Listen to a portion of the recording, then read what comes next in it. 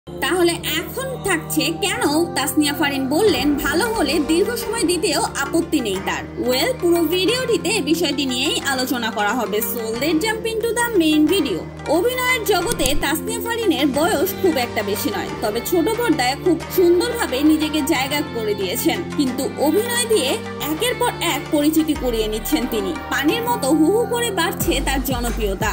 Modelling দিয়ে শুরু করে টেলিভিশন নাটকে অভিষেক হয়েছে তার। আসছে কোরবানির নাটকের কাজ নিয়ে ব্যস্ত সময় পার করছেন তাসনিয়া ফারিন। বর্তমানে প্রেম ফ্যাশন শিরোনামের একটি নাটকের শুটিং করছেন এই অভিনেত্রী। রাজধানীর তিনশো ফিটে এর দৃশ্য ধারণ চলছে। প্রতিটি নাটকের মতো এই নাটকেও ব্যতিক্রমী চরিত্র নিয়ে হাজির হবেন তিনি। গেল রোজারিতে তার অভিনীত ডজন খানেক নাটক প্রচার হয়েছে যেগুলোর শুটিং আগে থেকে সম্পূর্ণ করা ছিল বলে জানিয়েছেন অভিনেত্রী। এদিকে ছোট পর্দার পাশাপাশি সিনেমাতেও অভিনয়ের ইচ্ছা আছে, নাকি জানতে চাইলে অভিনেত্রী জানান এটা নির্দিষ্ট করে বলা যায় না। এখন আমি নাটকে যে ধরনের গল্পের কাজ করছি, সে ধরনের গল্প সিনেমাতে নিশ্চয়ই চাইব না। সিনেমা যেন ব্যতিক্রম কিছু হয়, আমার কেরিয়ারে সেরা কিছু হয় এটাই প্রত্যাশা করছি।